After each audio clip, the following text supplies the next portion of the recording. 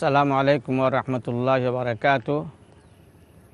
আপনাদের সামনে এতিমদের ব্যাপারে সবর এবং ধৈর্য, সত্যের উপর দৃঢ়তা, সংকল্পতা এই প্রসঙ্গে আলোচনায় আমরা ছিলাম ব্যস্ত, এখন আবার সেই প্রসঙ্গে আমরা আসছি। আলোচনায় ছিলাম সলমান ফারসি রেজাল্লাহ তালা আনহু। হজরতে সলমান ফারসি রেজাল্লাহ তালা আনহু একজন যুদ্ধ কুশলী ছিলেন। অনারবের গৌরব ছিলেন।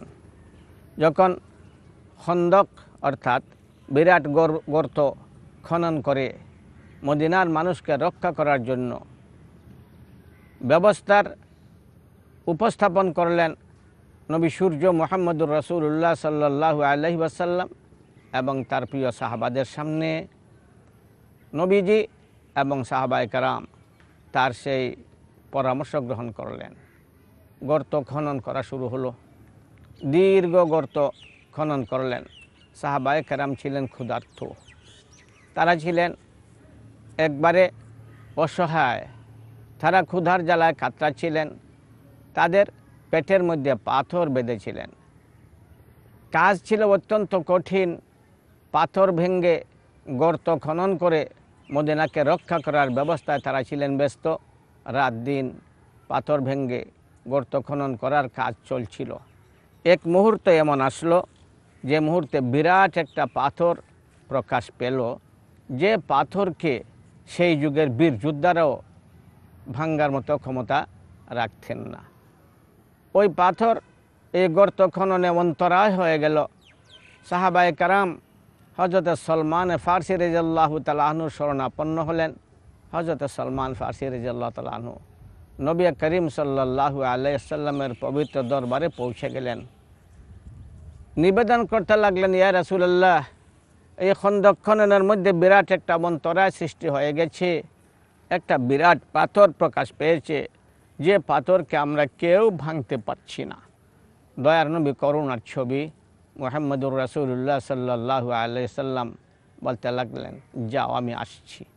নবী করিম সাল্লাহ সাল্লাম একটা হাতিয়ার নিয়ে ওই পাথরের কাছে চলে গেলেন। পাথরের উপর আঘাত করলেন, আরেকটা আঘাত করলেন, আরেকটা আঘাত করলেন। আমার নবীর আঘাতে ওই পাথর রুই রুই হয়ে আকাশে উঠতে লাগল। আমার নবীকে আল্লাহ রবুল আলমিন দৈহিক শক্তি সবচেয়ে বেশি দান করেছিলেন। যেমনভাবে তার আধ্যাত্মিক শক্তি ছিল প্রবল, তেমনভাবে তার দৈহিক শক্তিও ছিল সবচেয়ে বেশি। যখন আকাশে উঠছিল, আমার নবী ঘোষণা করলেন, আমি দেখেছি পারস্যের রাজপ্রসাদ। আবার বললেন, আমি দেখেছি রুমের রাজপ্রসাদ। আবার বললেন, আমি দেখেছি এমনের রাজপ্রসাদ। ওই সবগুলো খবর মদিনায় পৌঁছে গেল। মদিনায় মুনাফিকরা বাস করত। তারাও মুসলমান হিসেবে পরিগণিত ছিল। তারা মুসলমানের লিস্টেড ছিল। আসলে কিন্তু তারা মুসলমান ছিল না। কারণ মুনাফিকরা, ওরা কাফিরদের চেয়ে আরও জঘন্য। ওরা সর্বা সর্বদিক দিয়ে ছিল মুনাফিক। তারা ঠাট্টা বিদ্রুপ করতে লাগল। দেখছ, যে মুসলমানরা তারা নিজেরা খাওয়ার পাচ্ছে না, পানীয় পাচ্ছে না, ক্ষুধার জ্বালায় কাতরাচ্ছে, তাদের পেটে পাথর বেঁধে নিয়েছে। তারা রুম এবং পারস্য বিজয়ের স্বপ্ন দেখছে, এমন বিজয়ের স্বপ্ন দেখছে, তারা উপহাস করছে, ঠাট্টা বিদ্রুপ করছে। কিন্তু নবীর ঘোষণা সত্য, নবী যা বলেন সত্য বলেন। নবী যা বলেন তা বাস্তবায়িত হয়। নবী যা বলেন ওইগুলো আসলে তার কথা নয়। ওই সবগুলো হচ্ছে আল্লাহ তালার পক্ষ থেকে আসে। ওমায়ন্তে আনিল হাওয়া ইনহুয়া ইল্লা ওয়াহিউন ইউহা। আল্লাহর পক্ষ থেকে যে কিছু, যা কিছু তার মুখ দিয়ে প্রকাশ করা হয়। আমার নবী তাই ব্যক্ত করেন। যুদ্ধ চলল। সেই কঠিন অবস্থায় তারা গর্ত খনন করতে লাগলেন। গর্ত খননের মধ্যে তারা ব্যস্ত ছিলেন।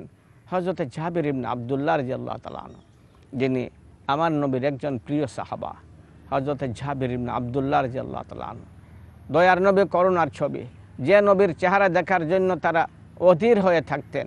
আমার নবীর চেহারা তো আপনারা জানেন কতই না উজ্জ্বল ছিল।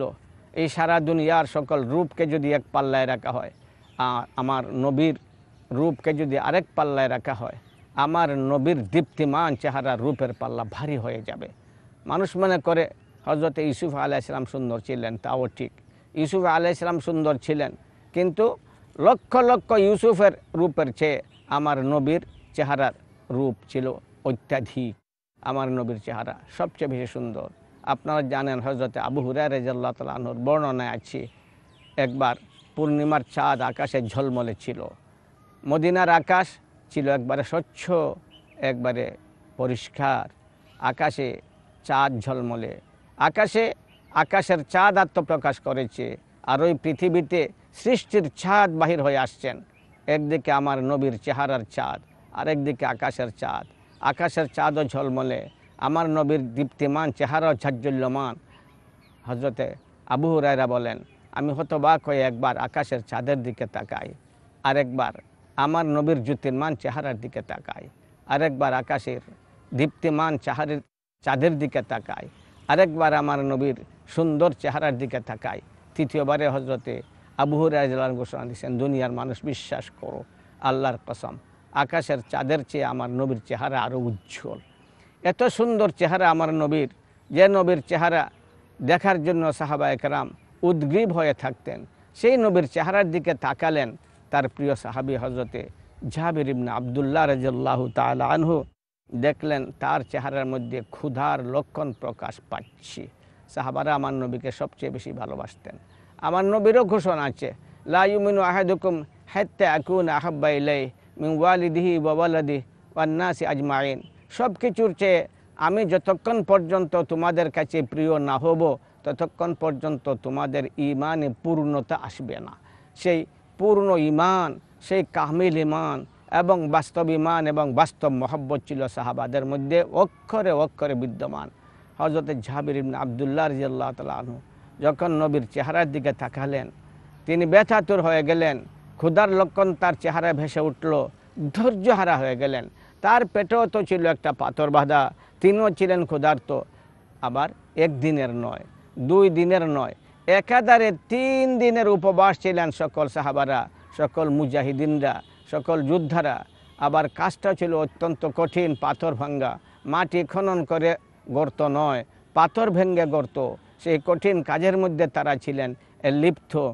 কিন্তু নবীর চেহারা যখন দেখলেন, তার ধৈর্যের বাদ ভেঙ্গে গেল। দৌড়লেন ঘরের দিকে, ঘরে গিয়ে বলতে লাগলেন, আমার জীবন সাথিনী, আমি আমার দয়ার নবী করুণার ছবি, আমার জীবন রাজ্যের একচ্ছত্র সম্রাট আমার জীবন সাধনার একমাত্র লক্ষ্য, আমার প্রিয় নবীর দীপ্তিমান চেহারায় দেখেছি ক্ষুধার লক্ষণ। আমি ধৈর্যহারা হয়ে গেছি। তোমার ঘরে কিছু থাকলে বলো, তার স্ত্রী বলতে লাগলেন, আহারে, আমার ঘরে তো তেমন কিছু নাই।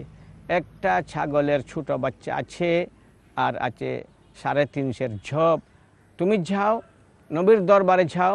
চুপে চুপে তাকে গিয়ে বলবে যে, এই পরিমাণ আমার ঘরে আছে, মাত্র ছাগলের ছোটো একটা বাচ্চা আর সাড়ে তিনশের জব।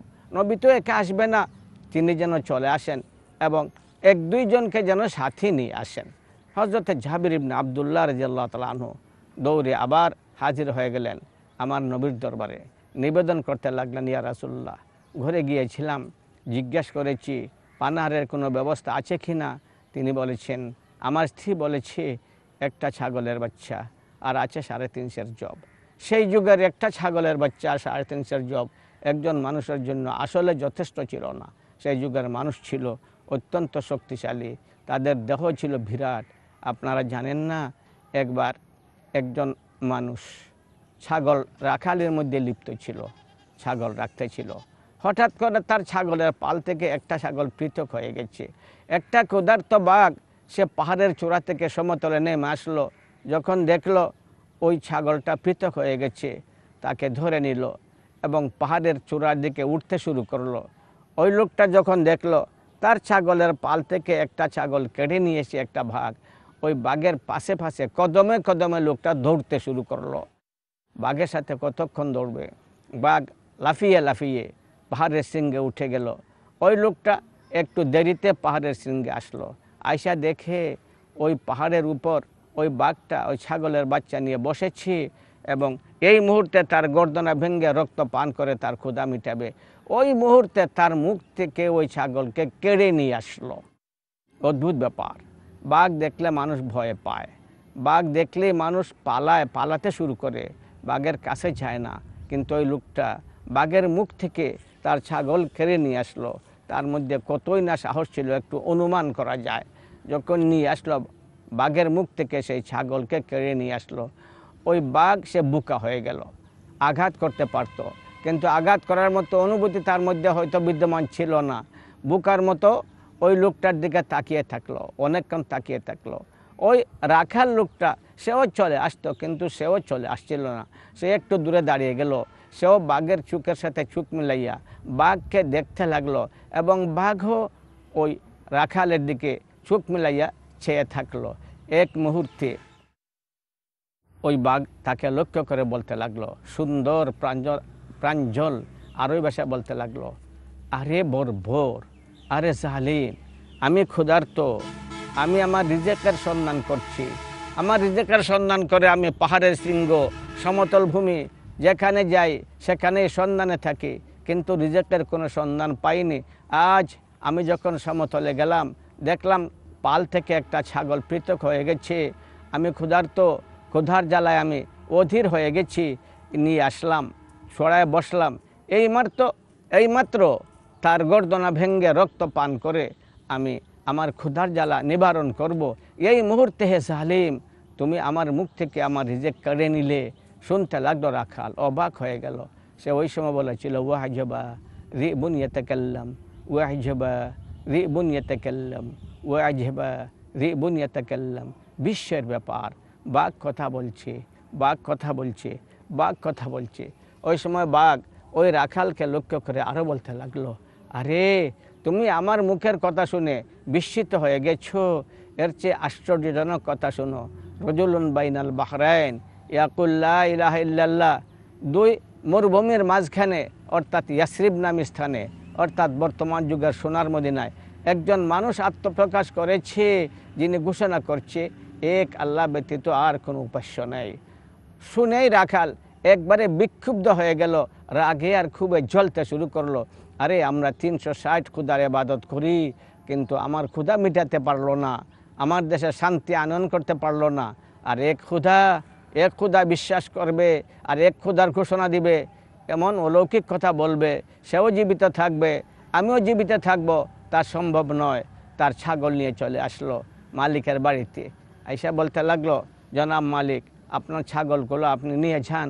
আমি আপনার ছাগলগুলো আর রাখব না। মালিক একবার অবাক, আরে তোমার মতো ভালো রাখার আমি পাবো কোথায়? যদি তোমার পরিশ্রমিক কম হয়ে থাকে, তাহলে আমি আরও বাড়িয়ে দিব। দুগুণা তিন গুণা চার গুণা পাঁচ গুণা আরও অধিক করে দিব। সে বলতে লাগল, না যত গুণা বাড়িয়ে দাও, আমি তোমার ছাগল আর রাখব না। আমি চলে যাব, তোমার ছাগল তুমি গ্রহণ করে নাও। শেষ পর্যন্ত মালিক বাধ্য হয়ে গেল, তার ছাগলগুলো সে গ্রহণ করল এবং রাখাল চলে আসলো। তার অন্তরে ছিল বিরাট খুব কারণ এমন মানুষ অদ্ভুত কথা বলবে, এক আল্লাহর কথা বলবে, এক আল্লাহর আবাদতের কথা বলবে, ওইটা গ্রহণ করা যায় না। সেও জীবিত থাকবে, আমিও জীবিত থাকব, তা কখনো সম্ভব নয়। যাত্রা শুরু করল মদিনার দিকে, আমার নবীর সন্ধানে। লোকটা চলতে লাগল। ধারালো পাথর ওইগুলার উপর দিয়ে চলতে লাগল। কঠিন কঠিন কণ্টকময় রাস্তা অতিক্রম করতে লাগল। পাথরের আঘাতে পাথরের আঘাতে তার পা নষ্ট হওয়ার কথা ছিল, কিন্তু পাথর ভেঙ্গে চুরমার হয়ে যেত, তার পায়ে কোনো ব্যথা পেত না। এমনিভাবে সে মদিনার দিকে যাত্রা শুরু করল। আপনি একটু চিন্তা করুন, তাদের দেহের মধ্যে কত শক্তি ছিল। চলে গেল সোনার মদিনায়। একটা লোকের সাথে সাক্ষাৎ ঘটলো। জিজ্ঞেস করল আরে তোমাদের সে কি এমন কোনো লোক আত্মপ্রকাশ করেছে? অদ্ভুত কথা বলে। ওই লোকটা বলতে লাগল হ্যাঁ আমাদের দেশে আছে একজন মানুষ, উনি অদ্ভুত কথা বলে। জিজ্ঞেস করল, ও বাস করে কোথায়? তার অবস্থান কোথায়? ওই লোকটা বলতে লাগল হ্যাঁ ওই লোকটা তেমন কোনো সুরক্ষিত বাড়িতে বাস করে না। তার কোনো দেহরক্ষী নাই, তার কোনো রাজপ্রসাদ নাই, নিরাপদ কোনো ব্যবস্থা নাই। এই একটা ভাঙ্গা ঘর আছে, খেজুরের পাতার ছাউনি আছে ওইখানে বাস করে, ওইখানে গেলেই তার সাথে তোমার সাক্ষাৎ হয়ে যাবে। সে বলতে লাগল আচ্ছা এমন কথা বলবে, আবার এমনভাবে চলবে, আর আবার সে জীবিত থাকবে। আমিও জীবিত থাকব, তা সম্ভব নয়। চলে গেল সোনার মদিনায় নবী করিম সাল্লা সাল্লাম। ওই মুহূর্তে মসজিদে বসা ছিলেন। মসজিদে নববীতে বসা ছিলেন। যে মসজিদে নববী আপনারা জানেন, যে মসজিদে নবী আপনাদের কাছে প্রিয়, যে মসজিদে নবী ঐতিহাসিক মসজিদ যে মসজিদের পার্শ্বে সাহিত্য রয়েছেন দয়ার নবী করুণার ছবি, মোহাম্মদুর রসুল্লাহ সাল্লাহ আলহি ওয়াসাল্লাম। দূর থেকে তার সুউজ্জ্বল চেহারা তার চোখের সামনে ভেসে উঠল। একবারে অবাক হয়ে গেল, আরে এত সুন্দর চেহারা, এত সুন্দর চেহারা, এত সুন্দর চেহারা। ওই সুন্দর চেহারা সম্বলিত মানুষকে আবার মিথ্যা বলতে পারে, তার রাগ কমতে লাগল, তার খুব ধীরে ধীরে হ্রাস পেতে লাগল, সে নবীর দিকে অগ্রসর হতে লাগল। নবী করিম সাল্লাহ আলাইসাল্লাম তাকে দেখতে লাগলেন। সেই লোকটাও নবীকে দেখতে লাগল। একবারে নবীর কাছে গিয়ে বসে গেল এবং জিজ্ঞেস করল, আরে, তুমি কি অদ্ভুত কথা বলো? আমার নবী জবাব দিলেন হ্যাঁ আমি অদ্ভুত কথা বলি। জিজ্ঞেস করল, তুমি কি বলো? আমার আমার নবী জবাব দিলেন, আমি বলি, এক আল্লাহ একমাত্র উপাস্য। আমাদের উপাস্য এক আল্লাহ। তার সাথে আর কারও কোনো অংশীদারিত্ব নাই। এবং আমি বলি, আমি আল্লাহর রসুল। নবী করিম সাল্লাহ সাল্লামের কথা শুনে ওই লোকটা ঘোষণা করল, তুমি যদি বলো এক আল্লাহ, তুমি যদি বলো তুমি আল্লাহর রসুল, তাহলে আমিও বলি আল্লাহ এক এবং তুমি আল্লাহর রসুল। এই বলে সে তার ইসলামের ঘোষণা দিয়ে দিল, মুসলমান হয়ে গেল। তো নবী করিম সাল্লাহ সাল্লামের চেহারা ছিল অত্যন্ত সুন্দর এবং দীপ- দীপ্তিমান এবং জ্যোতির্মান। আমার নবীর চেহারায় যখন দেখল হজরত জাহাবির ইবনে আবদুল্লাহ রাজিয়াল্লাহ তালা এই লক্ষণ। আইসা বলতে লাগল ইয়ে রাসুল্লাহ আমার স্ত্রী বলেছে আছে একটা ছাগলের বাচ্চা আর আছে সাড়ে তিনশের জব। আপনি চলে আসুন, দু একজন সাথে নিয়ে আসুন। নবী করিম সাল্লাহ সাল্লাম খন্দকের সকল মুজাহিদদের সামনে ঘোষণা করে দিলেন ইয়াহলা খন্দক, ইন্না জাবিরান কাজ্জাহাল আলাকুম সুরা ফাহাইয়া লা বিকুম। ইয়া আহলা খন্দক, ইন্না জাবিরান কাজ্জাহাল আলাকুম সুরা ফাহাইয়া লা বিকুম এই খন্দকওয়ালারা জাবির তোমাদের জন্য দাওয়াতের ব্যবস্থা করেছে। তোমরা তাড়াতাড়ি আসো, তোমরা তাড়াতাড়ি আসো।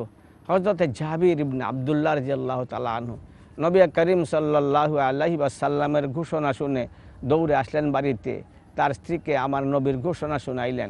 স্ত্রী রাগ করে বসল এবং রৌড় ভাষায় হজরত জাহাবির ইবনে আবদুল্লাহ রাজিয়াল্লাহ তালানুকে সম্বোধন করতে লাগলেন, বলতে লাগলেন আরে বুঝতে পেরেছি।